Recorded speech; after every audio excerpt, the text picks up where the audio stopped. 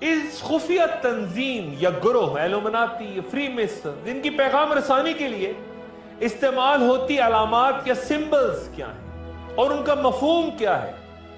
عام ترین ایک علامت یا سمبل سب کچھ دیکھتی آل سینگ آئی ہے، جو کہ ایک نامکمل تیرہ سطحوں یا منزلوں یا لیئرز پہ مشتمل احرام یا پیرمڈ پہ رکھی ہے۔ یہ علامت ظاہر کرتی ہے کہ ایلومناتی کا مسیحا عروج پر سب پر بیٹھا، عالمی حکومت کا سربراہ سب کچھ دیکھ رہا ہے۔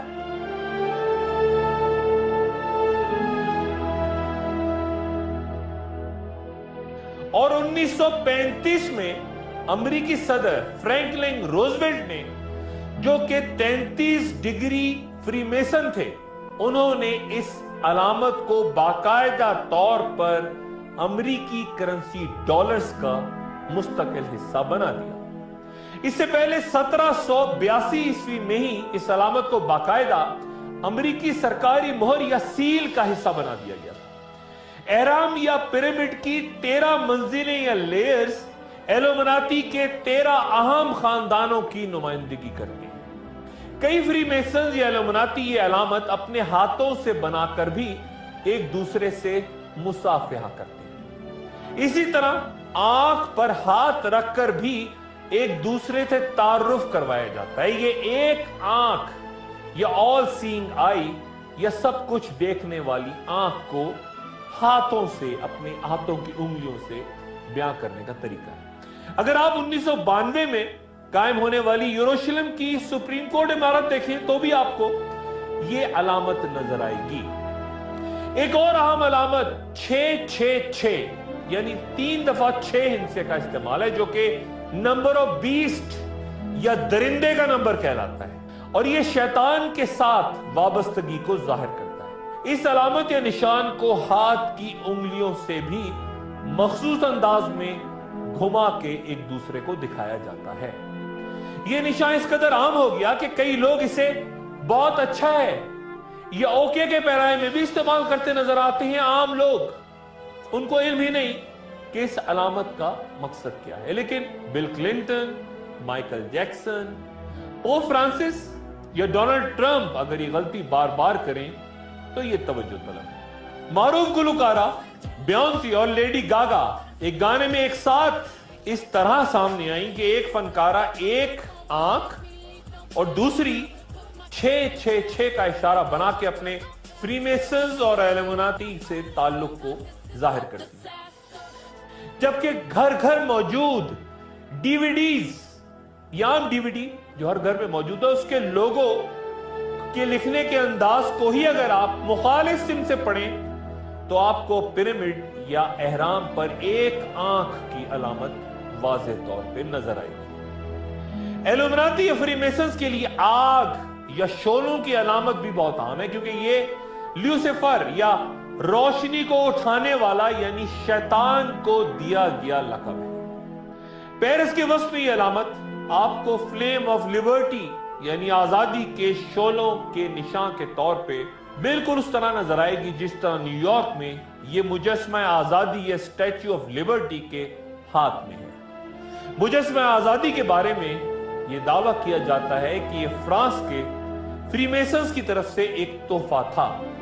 جو ابتدا میں فری میسنز نے مصر کو بطور تحفہ دینا اور بعد میں ان کا ارادہ تبدیل ہو گیا۔ دنیا کی ایک بڑی فلم بنانے اور تقسیم کرنے والی کمپنی کولمبیا پکچرز کی علامت بھی کولمبیا کے پرچم میں لپٹی ایک عورت ہے جس کے ہاتھ میں آپ کو وہی علامت یا سمبل واضح طور پہ نظر آئے گا۔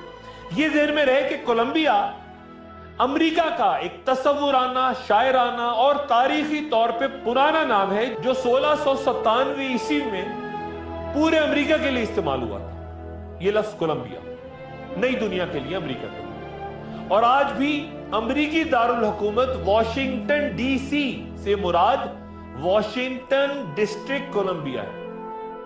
ایلومناتی اور فری میسنز کی ایک اور اہم علامت یا نشان یا سمبل بکرے کے سر والا ایک بت ہے جس کو بھیپومت کہتے ہیں۔ یہ انتہائی اہم یوں ہے کہ اس بدھ کی عبادت کا الزام لگا کر چودویں صدی میں ٹیمپلرز کو سزائیں دی گئی اس بدھ کا ایک بازو اوپر کی جانب اٹھا نظر آتا ہے۔ اب اس بدھ کو دیکھیے۔ اور پھر مصر میں موجود احرام کے اندر جو آپ کو پرانے دیوتا سیٹ کی تصاویر نظر آتی ہیں، اس علامت اور اس بت۔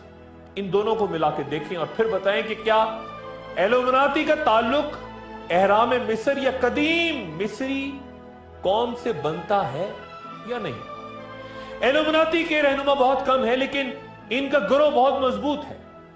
جن معروف شخصیات پر اس گروپ کی رکنیت کا الزام لگایا جاتا ہے کہ وہ میڈیا کے ذریعے دنیا بھر میں ان کا پیغام پھیلاتے ہیں۔ ان میں گلوکارہ میڈونا، جینیفر لوپیز، اتکار ول سمیت ایما واٹسن سمیت کئی شخصیات ہیں جو کہ ان الزامات کو مزگ آخیز قرار دیتی ہیں لیکن یہ طے ہے کہ ایلومناتی میں صرف فنکار ہی نہیں بین الاقوامی بینکر سرمایہ دار سائنسدان عسکری اور سیاسی رہنما اور ماہرین معاشیات سب شامل ہیں جو دنیا کو سیاسی سماجی نسلی معاشی اور مذہبی گروہوں کی بنیاد پہ بانٹتے ہیں ان تمام گروہوں کو پھر وہ اسلحہ بھی دیتے ہیں، پیسہ بھی اور طاقت بھی، اور پھر کٹ پوتلیوں کی طرح ایک دوسرے کے خلاف سفارہ کروا کے خوریز جنگیں بھی کرواتے ہیں تاکہ انسانیت رفتہ رفتہ خود تباہی کی طرف چلی جائے اور یہ اس وقت تک ممکن نہ ہوگا جب تک تمام دینی اور سیاسی ادارے تباہ نہ کر دیے اور ارد کا اقتدار خود بخود بلا شرکت غیر ان کے پاس نہ آ جائے۔ یہاں مقابلہ کسی سیاسی یا مادی دشمن سے نہیں، بلکہ شیطان یا لوسیفر یا ابلیس سے ہے جو کہ ایلومناتی کا خدا ہے۔ اور اس گروہ کے مرکزی رہنماؤں کے بارے میں کہا جاتا ہے کہ وہ شیطان یا ابلیس سے براہ راست رابطے میں ہے اور وہ خود بھی برملا اس بات کا اظہار کرتے ہیں فخری انداز میں کہ ہم شیطان کے کارندے ہیں۔ وہ اقرار کرتے ہیں۔ یہ کارندے دنیا کو ان بحرانوں کی طرف لے کے جا رہے ہیں جہاں اپنے جھوٹے خدا یا دجال کی حکمرانی کی راہ ہموار کر سکیں۔ اور اس شیطانی طاقت کو صرف وہ روحانی قوتیں ہی شکست دے سکتی ہیں جو اس سے زیادہ باختیار ہو زیادہ طاقتور ہو یعنی حضرت امام مہدی اور حضرت عیسیٰ علیہ السلام۔ بڑی جنگیں، مار کے خوریزی اور ایک طرف رحمانی اور روحانی قوتیں اور ایک طرف شیطان، ابلیس۔